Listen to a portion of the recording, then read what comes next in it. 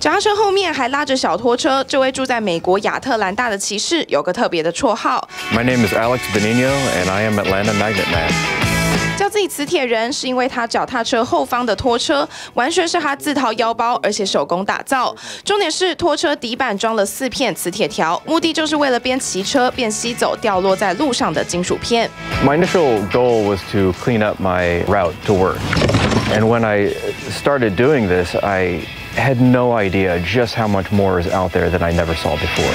只要车子所到之处，金属物品会一个个被吸起。原来磁铁人在疫情期间，为了避免接触旁人，只好开车上班。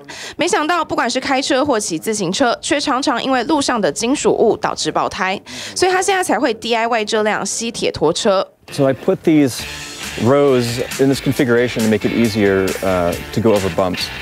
And then I just kept going with it and see, well, how much can I pick up? 这辆手工打造的吸铁车可以吸起路上各种螺丝、铁钉或是铁片。现在磁铁人常利用休假时间骑车健身兼清扫道路。他还在 IG 上记录自己的吸铁过程，自称在两个月内骑车八百四十公里，一共吸到一百八十五公斤的各式金属垃圾。That's a lot of stuff. Wow. 人说：“骑车不只能让身体更健康，他也希望有更多人能身体力行，像他一样边骑车还能一边回馈社区。” TVBS 新闻综合报道。